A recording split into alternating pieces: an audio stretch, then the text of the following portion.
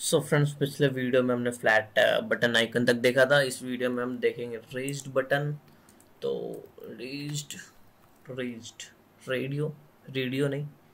देखो रेडियो के भी दो चीज़ें होती हैं रेडियो और रेडियो लिस्ट स्टाइल तो ये दोनों चीज़ें भी बताऊँगा, घबराना मत, बने रहना। ठीक है रेज्ड बटन तो रेज्ड बटन में हमें एक ही प्रॉपर्टीज़ ने दिया कि भैया आप ऑन प्रेस डाल लो इसमें, ठीक है? वो आपको ज़रूरी है। बाकी बहुत सारी चीज़ें रजिस्टर बटन में जो कि आप यूज़ कर सकते हो। जैसे कि हम पहले अगर प्रॉपर्टी यूज़ करना चाहे तो हम एक चाइल्ड यूज़ कर सकते हैं। चाइल्ड यूज़ कर सकते हो और चाइल्ड हमारा क्या होगा? विज़िट होगा।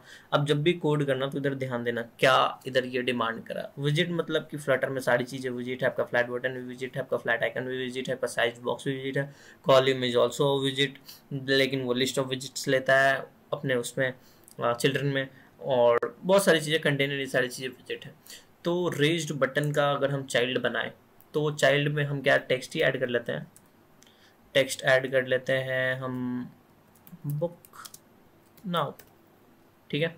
रन करते हैं, देखते कैसा दिखता है हमारा रेज बटन अभी। धीरे धीरे इसे और हम अच्छा बनाएँगे और खूबसूरत बनाएँगे, ठीक है? तो ये अभी रन हो रहा है रिलोड हो रहा है, पता नहीं कब तक आएगा। तो ये रेज्ड बटन हमारा हो गया, इसमें बुक नाउ हो गया। दूसरी चीज़ जो है हमारी इसमें एक तो हम कलर ले सकते हैं, ठीक है? रेज्ड बटन की जब हम रेज्ड की बात करते हैं तो सबसे बड़ी चीज़ आती है एलिवेशन की। तो इसमें आपको भैया एक प्रॉपर्टी मिलेगी एलिवेशन की, ठीक है? डिसेबल भी आप कर सकते हैं एलिवेशन क्योंकि जब भी रेज्ड बटन आप क्रिएट करते हो तो आपको बाय डिफ़ॉल्ट कुछ ना कुछ एलिवेशन मिलता ही है। ये चल क्यों नहीं रहा है? ये देख लेते हैं। सो ये देखो हमारा रेज्ड बटन एक आ चुका है तो बुक नाउ ये लिख रहा है बट देखो देखोगे आपको डिफरेंस दिखेगी। अभी मैं अभी अगर इसमें एलिवेशन डाल दूँ ट्वेंटी की इसमें एक दो तीन और प्रॉपर्टी होती है सैडो की ठीक है? Uh, इसमें होती है सैडो यार डेकोरेशन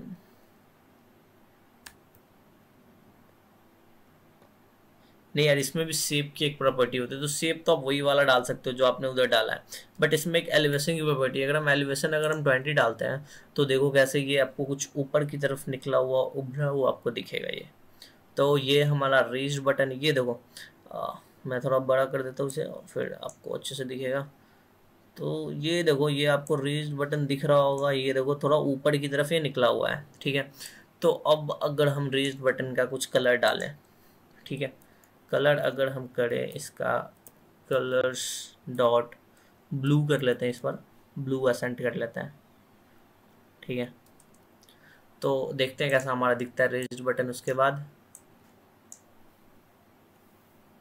सो ये देखो कलर हमारा ऐसा हो चुका है। बट ये कलर मुझे बिल्कुल नहीं अच्छा लग रहा तो मैं इसे फिर से टील कर दूँगा।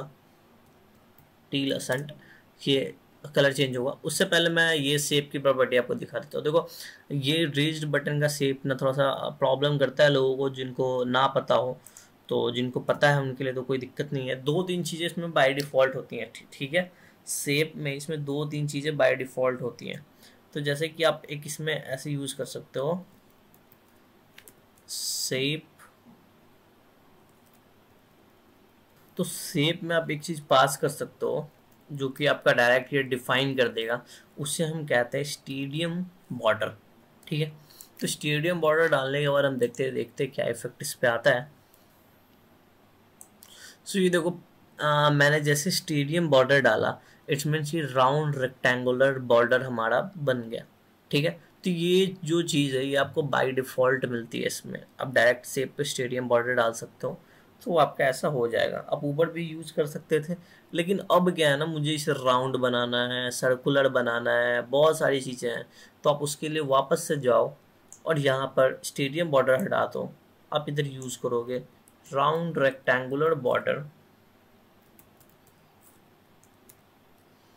round rectangular border आप यूज़ करोगे। इसमें आप पास करोगे बॉर्डर रेडियस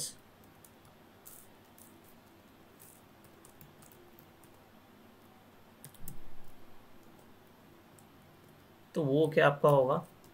वो आपका होगा सर्कुलर ठीक है? अभी तो ये हमारा ऐसा दिख रहा है, मैं इसका कुछ ज़्यादा बढ़ा देता हूँ फोर्टी कर देता हूँ, ठीक है? अब मैं इसे रन करता हूँ, देखता हूँ हमारा ये कैसा दिखता है। बुक नाउ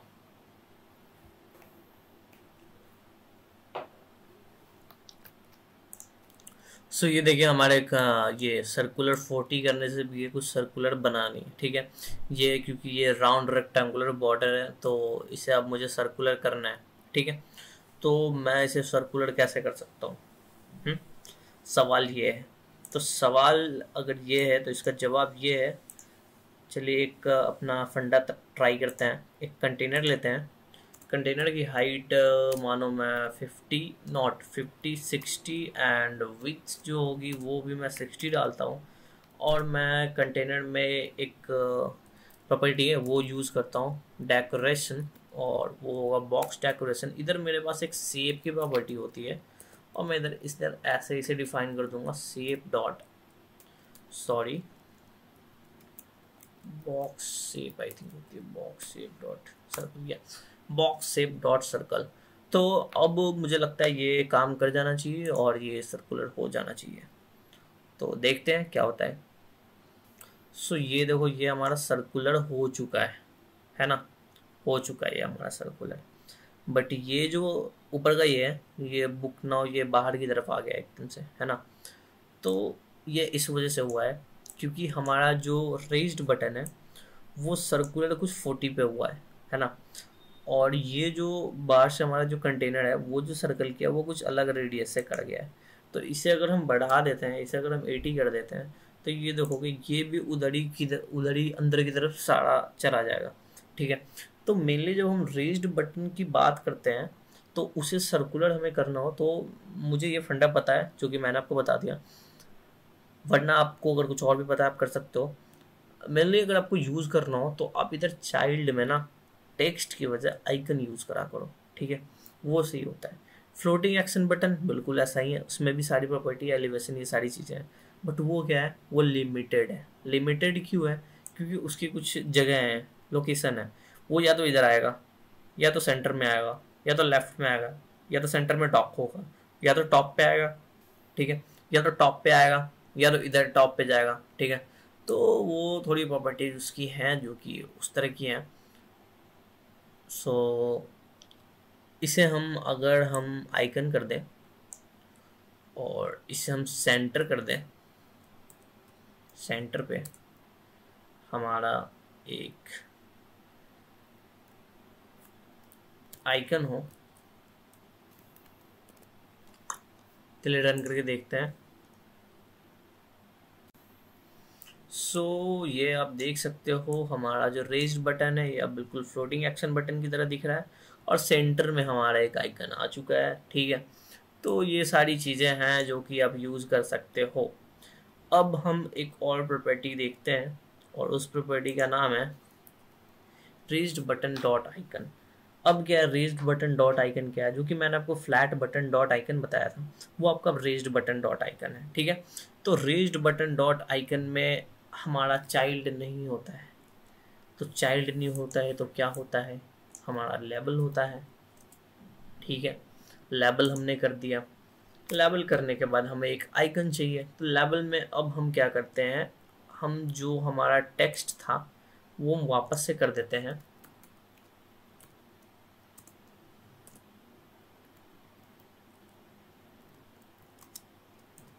ठीक है? ए सी को प्लस करो।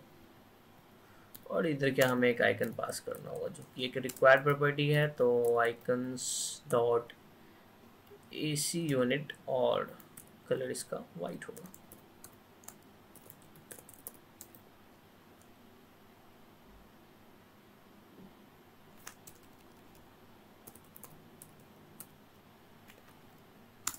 चलिए, करते हैं रन और देखते हैं ये हमारा कैसा दिखता है।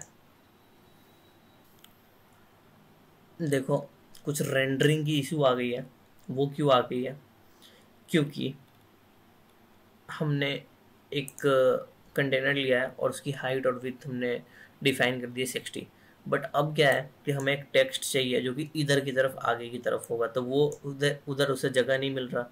तो हम क्या करेंगे? इस कंटेनर को हम रिमूव कर देते हैं और रिमूव करने के बाद हम फिर से रन करेंगे इसे और देखेंगे हमारा ये फिर कैसा दिखता सो ये देखो, ये हमारा बटन आ चुका है, जो कि आपके एसी का यूनिट प्लस करेगा। तो मेनली मैंने आपको दो तीन चीज़ें बता दी, इसको सेव कैसे करें? रजिस्ट बटन को अगर सर्कुलर बनाना हो तो वो कैसे करें? और और भी जो जो चीज़ें बताई हैं, वो सारी चीज़ें हैं। ऑन प्रेस में आप कुछ नहीं, जो भी आप डालना चाहो, आगे मेथड्स वो डाल सकते हो बट मैं इधर प्रिंट डाल देता हूँ। प्रिंट रजिस्ट बटन ठीक है? तो अब मैं जैसे इस पर क्लिक करूँगा तो एक इधर प्रिंट होगा रेज्ड बटन ठीक है? मैं फ्लैट पे क्लिक करूँ तो फ्लैट का जो कि मैंने पहले डिफाइन कर रखा था तो फ्लैट ये देखो आई एम फ्लैट बटन इसी पे मैंने क्लिक करा तो रेज्ड बटन सो इस वीडियो पे इतना ही था रेज्ड बटन में और भी आपको रेज्ड बटन की प्रॉपर्टी यूज़ करनी हो स्प्लैश कलर ये, वो, बहुत बहुत तरीके की प्रॉपर्टीज़ हैं। तो रेज्ड बटन में आप आओगे ये देखो, सारी प्रॉपर्टी आपका colour disable colour focus colour hover colour highlight colour सारी चीज़ें हैं। आप जो भी चीज़ें यूज़ करना चाहो यूज़ कर सकते हो, ठीक है? क्लिप बिहेवियर है, आपका कैसा क्लिप हो राउंड से सर्कुलर हो, ये सारी चीज़ आप इस पर डिफाइन कर सकते हो, ठीक है? सेफ़ हमने यूज़ कर ही लिया। और विजुअल डेंसिटी है पैडिंग है। पैडिंग तो आप जो भी कंटेंट्स की पैडिंग हो, वो यूज़ कर सकते हो इसमें ठीक है? एक पैडिंग की प्रॉपर्टी आपको इधर मिलती है। बाकी सारी चीज़ें लगभग लगभग हो ही चुकी हैं। कलर ब्राइटनेस ये सारी चीज़ें हैं तो ये उतना कुछ है नहीं। सो so, चलिए मिलता है नेक्स्ट वीडियो में। Thank you